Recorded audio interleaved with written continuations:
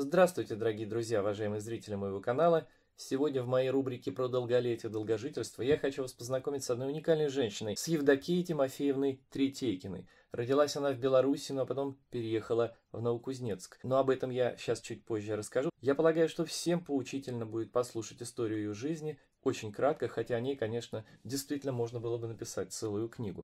Буквально вчера, от момента данной записи, я решил записать это видео – и не знал, что она умерла. Мне попались видео про то, когда был юбилей 110 лет. Потом я стал искать про нее информацию и увидел 112, 113, 114. И, к сожалению, в одной статье я прочел а, следующие слова. Душа бабушки Евдокии ушла в последние большие сибирские морозы, почти в минус 40. Ее проводила Последняя, горячая, горькая, с трудом отпустившая объятия внучки Зины. Ее позвала, повела тихая улыбка Божьей Матери с иконой высоко на стене в белых вышитых рушниках. И дальше приведу такую цитату. «Бабушка умерла.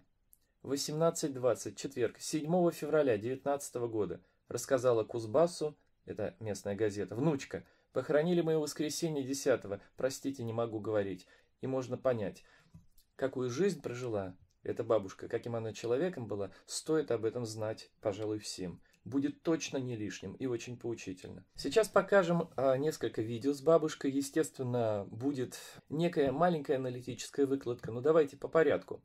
Итак, как писала одна корреспондентка, мы познакомились, когда бабушке Евдокии было почти 110, она легко толкнула тяжелую дверь Спасо-Преображенского собора, вошла и, открыв старомодный гомонок, достала мелочь на свечи. И, идя по храму, крестясь, здороваясь со всеми святыми ликами и лицами пришедших, всем светло и радостно улыбалась. «Видишь, какая красота!» — говорила она про храм, стоя у иконы Матроны повязанная платком с розами, как повязанная сама Матрона. И лишь позже до меня дошло, они же современницы. Итак, родилась бабушка в 1905 году. По ее словам, она не пропустила ни одной Пасхи за все эти годы. А пока ходила, а э, ходила она до 100 на улицу и на службу, и в магазин до 112 лет. Потом упала зимой, подскользнулась, повредила то ли шейку бедра, нет об этом точных данных, ну, в общем, э, ходила уже только по квартире, хотя занималась активно физической работой и даже, можно сказать, спортом, но гимнастикой до самых последних дней жизни. И вот самая памятная Пасха, такая показательная была, она рассказывала, когда ей было 12 лет, они пошли в церковь далеко э, от дома, было тогда тепло, они разулись даже, листья распустились, а вышли после службы снег, все бело-бело, як зимой – говорит она, мешая, как пишет корреспондент белорусский, русские, украинские слова. Так как она была рождена на юго-западе страны, на стыке сел разных, скажем, ну, родных, да, славянских народов, то вот э, у нее такой интересный говор, видео вы это услышите. Так вот, отец тогда за ними на санях приехал, чтобы привезти теплую одежду и забрать. И вот местные бабули тогда гадали, что за снег такой приключился среди весны, к чему бы это. А шел тогда 17-й год. Ну, скоро стало ясно, к чему. Естественно, пришла Октябрьская революция, гражданская война за ней, и уже голод, разруха, тяжелые годы для всей страны и для э, нашей героини бабушки. Дальше шли годы, труд, а потом уже на пороге Великая Отечественная война. И вот когда ей было уже 36 лет, я думаю, многие из тех, кто сейчас слушает мое видео, Кому-то около 30, кому-то за 30, но примерно так. Представьте себе, сколько с этого периода прошло времени. И вот представьте, что какая впереди могла бы быть еще длинная жизнь.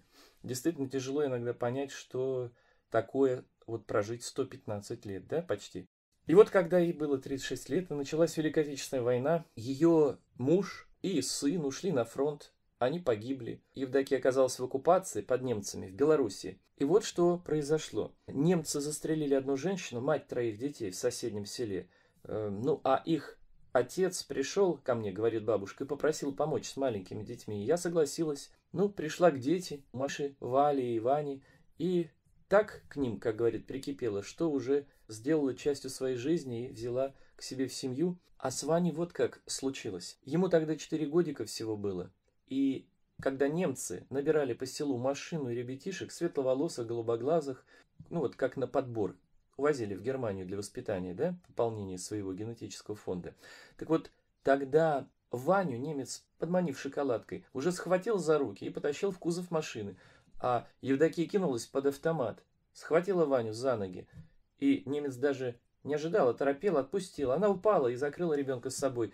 И, ну, можно сказать, повезло, немец не стал стрелять. Вот таким образом Евдокия тогда приобрела вторую семью.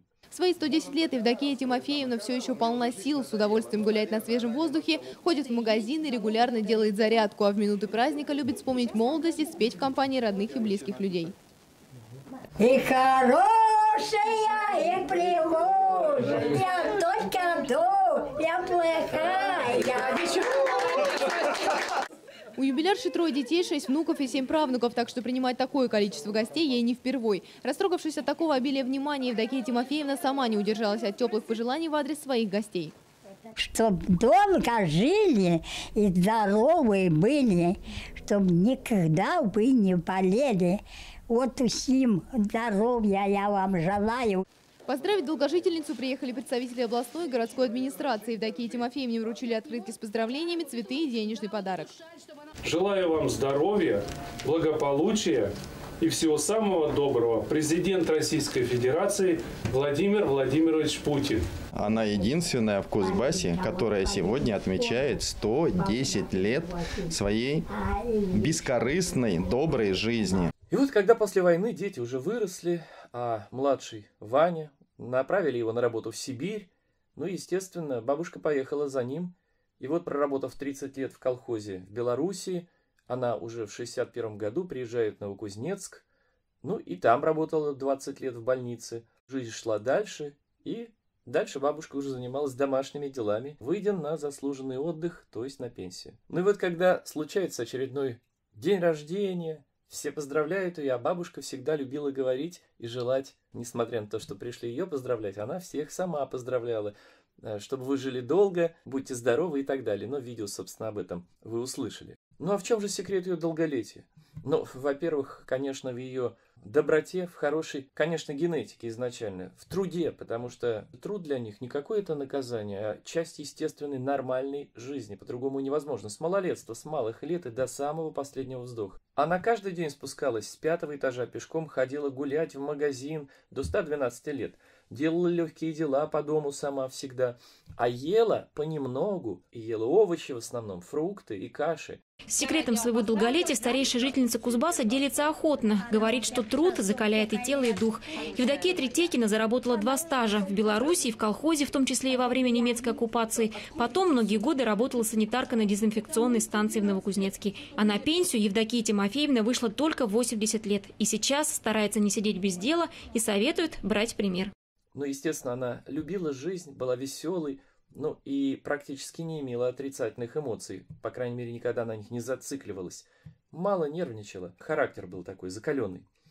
Ну, и тем не менее, ее же еще и радовали и любили родные люди, что очень важно. А вот эта обратная связь огромное влияние на долголетие оказывает. То есть ощущение нужности, вот это очень важный фактор. Ну, естественно, на каждое утро, как я уже говорил, делала зарядку, наклоны вперед-назад, руки в сторону перед собой и так далее. Ну, и вот только когда ушибло колено, перестала делать приседания, хотя делала другие а, упражнения. А в последние три недели своей жизни бабушка была слаба уже и зарядку не делала, но все равно продолжала заниматься игольчатым таким мячиком для суставов. Родные рассказывают. И ушла она очень легко. Говорят, незадолго до этого, навещая бабушку, одна из соцработниц, которую привязали к ней, естественно, городские власти, она застала спящей ее с счастливой такой улыбкой на лице и любовно укутанное одеялом. Не стала она ее будить, но удивилась такому укутанному, поддоткнутому как бы одеялу, ведь в квартире никого не было. Последние годы жизни бабушка все больше смотрела телевизор, кстати, заинтересовалась и политикой, и разными передачами, аналитическими, кстати и говорила, ну и чего людям только не хватает. Война давно закончилась, а где-то все воюют и воюют. И не уставала бабушка всю свою жизнь последнюю желать всем людям и мира, и счастья, и долголетия. Помнила и знала она о хрупкости вот этой мирной жизни, так как пережила такие тяжелые годы, такую страшную фашистскую оккупацию. А в последние годы зарубежные ученые-геронтологи наблюдали за ней, хотели пригласить к себе, оплатить перелет и прочие расходы и для нее, и для родственников, чтобы только исследовать. Ну, бабушка уже и не хотела, да и здоровье было не то. Что же можно сказать в завершении? Как подмечают все ее родственники, многочисленные внуки и правнуки, и праправнуки, что ее любви всегда хватало на всех. Она была добродушная и старалась, чтобы вот ее вот это тепло души досталось каждому из них поровну. Она говорила, что хочу умереть на своих ногах, но так оно и произошло. Она была уверена, что жизнь в движении, и движение – это жизнь. Это истина прописная, так оно и есть. Жаль, не все люди этого понимают. И поэтому упускают свои вот возможности дольшей жизни при равных прочих обстоятельствах. Вот даже из этих маленьких коротких сюжетов, которые вы посмотрели, видна, да, душа вот человека, видна та доброта и та простота этой женщины. Ну и вот, знаете, вот это вот чувствуется, по крайней мере, мной, ну, я думаю, многие это прочувствуют, ту вот эту нить, которая уже почти оборвана вот этой связи поколений, настоящих тех людей, рожденных на земле, которые вели вот этот крестьянский, естественный уклад жизни, мудрость вот этого, что называется, от земли, которая перешла и переходила через поколение, передавалась своим потомкам, и вот эта связь сейчас утеряна, она давно уже утеряна, но фактически с 50-х, 70-х годов вот теряться стала. И последние, просто вот уникальные люди, вот эти носители, вот по ним это чувствуется, так важно воспитывать вот на этом, а, к сожалению, так мало осталось, этих записей, аудио, видео, да, хроник с такими людьми, что, как они говорят. Тут даже важны глаза, руки, чувства, которые видны, которые идут от таких людей. Вот это вот важно понять, даже иногда минут достаточно, чтобы человек что-то мог прочувствовать. Ну что значит что-то? А вот это доброе и хорошее. Вот эти вот природные, естественные начала. Ну, сейчас, к сожалению, все меньше и меньше таких людей, почти таких уже не осталось, к сожалению.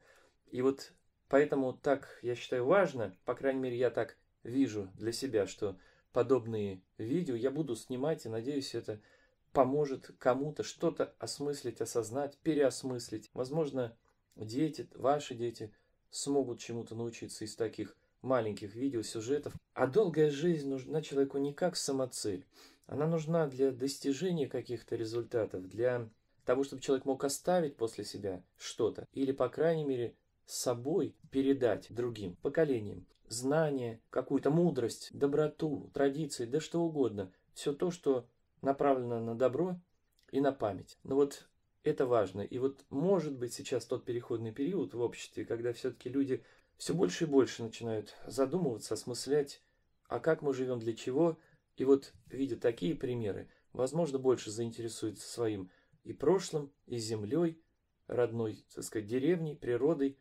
Ну вот я на это очень надеюсь, поэтому буду снимать такие видео. Надеюсь, вам это видео тоже понравилось, ну напишите о своих мыслях, чувствах здесь, в форуме, под видео. Возможно, вы захотите поделиться этим видео с вашими знакомыми, чтобы они задумались, ну, что называется, о вопросах бытия и о смысле жизни. Всего хорошего, до новых встреч!